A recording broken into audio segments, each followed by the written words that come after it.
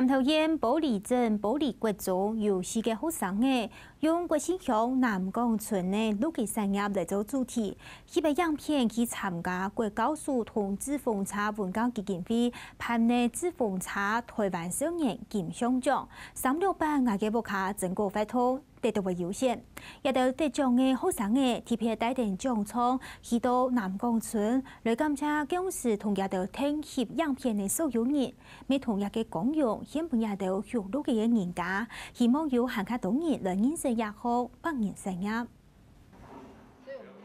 可能系因为已经来过及下摆化嘅，随着看到学生嘅行情来，一些都唔会惊，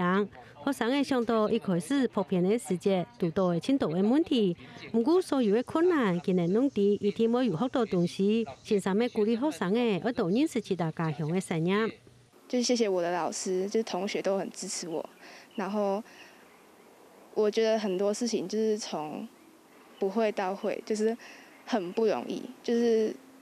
一路走上来，这样子就是也学会了很多。希望学生可以就是从自己的家乡开始来做一个呃认识，所以我们主要的题材会希望学生选择自己就是周遭或是附近的一个呃内容来做一个挑选。学生的八个样品，录样提案都参加比赛样品当中表现一定好。有两位学生的身上皮带带点中状，以感谢过新乡的前乡中林户峰、量公婆一路一路的听数。样品当中，今日表现的畜牧业面对的问题，没希望有咸阿多人来认识台湾水路。人口外流问题加上少子化，造成说，嗯，这种畜牧业要继续传承下去，有很大的困难。所以我们想。透过这个影片，让大家更了解国信乡也大让大家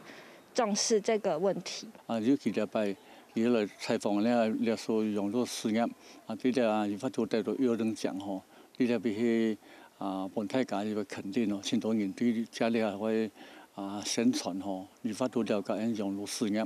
林芳峰从这里安多年一直都冇放弃传统教育嘅工作。杨两公婆认为，对学生嘅国土、父爱嘅认识，过心享教育嘅生日系一个很好嘅做法，咪鼓励天到被打病嘅后生人，所以对教育嘅工作有兴趣，佢哋农村愿意分享经验，咪希望一仿百年嘅生日做点传递下。客家新闻李凤岐南投报导。